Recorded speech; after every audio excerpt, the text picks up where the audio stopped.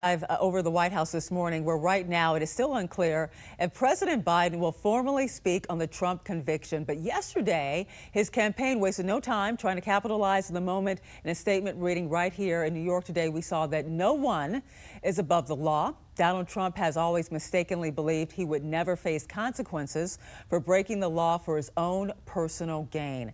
The White House claims there are no plans for a formal address, despite a report from Politico, you may remember, that said the president would speak from the White House. Now, Biden is supposed to be back in D.C. today to honor the Kansas City Chiefs for winning the Super Bowl, so we'll see if he's going to answer any questions from reporters at that point. And if you're wondering if support for Trump is fading, here's an answer right here. The campaign website for Donald Trump is back online after crashing yesterday. Supporters rushed to the website to donate. Trump has raised tens of millions of dollars due to the trials and plans to keep doing so. His campaign said this The American people can see through Biden's rigged show trial. Both Trump and Biden's campaign said they, the trial will be settled at the ballot box this November. Right now, we're showing you video of what it was like outside of the courtroom when that verdict came in. You could see people, you could kind of hear people in the back there. Some folks were cheering, other people were booing.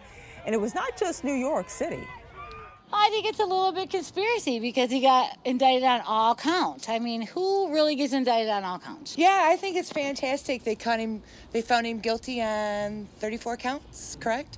Um, it shows that we don't have a two-tier justice system.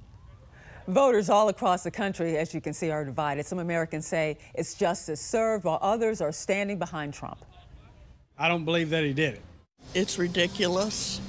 I'm going to vote for him even more now because uh, he didn't do anything wrong. It's certainly interesting. You know, uh, we'll see what happens over the next, you know, at least in November. And most voters say it won't change who they plan to vote for in the presidential election. In fact, a recent PBS, NPR, and Marist poll right here found 67% of respondents felt that way. 25% of Republicans say they're even more likely to vote for Trump while 27% of Democrats say they are less